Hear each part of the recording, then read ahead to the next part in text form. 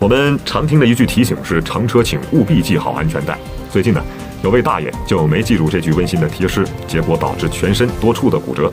当时呢，一辆大巴车正行驶在颠簸的路面上，车内其他乘客们呢都坐的是稳稳当当，只有最后面这一排呢坐着一位大爷，他被弹起来，整个人是腾空而起的，头啊都撞到客车的车顶了，然后呢，他重重的落在了座位上，就这样啊，一上一下，一上一下，他被整整弹起了六次。这片刻之后，大巴车停下来了，车厢里的人呢才反应过来去救助这位老人。那么据了解呢，这位大爷被送往医院之后，确诊为全身的多处骨折，伤势是相当的严重。医生说呢，这样的事故后果实在是可怕。如果是第一次被弹起之后及时的采取措施，或许呢可以避免重伤。那么如果大爷是系了安全带的，结果也会不一样。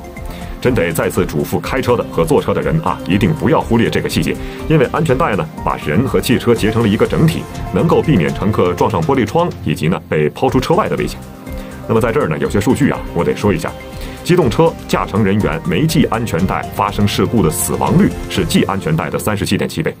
发生事故从车尾甩出的乘客百分之七十五会因伤势过重身亡。在正面碰撞交通事故中呢，正确使用安全带可以让死亡率减少百分之五十七；侧面碰撞时呢，减少百分之四十四；翻车时可以减少百分之八十的死亡率。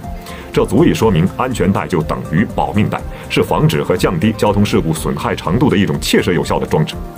坐车要系安全带，特别是大巴车这样的客运车辆，因为呢行程长，而且呢路途颠簸，系安全带更是必须的。那么我特意去留意了一下，查了一下，其实呢早在二零一九年十一月实行的《汽车客运站安全生产规范》中呢，就硬性规定乘坐大巴车没有系安全带不允许出站。哎，这么看，这个司机呢也有疏忽，没及时提醒和检查大爷是不是系上了安全带了，就开车上路了。我们每个人都要成为安全的守护者，共同来创造出美好的交通环境。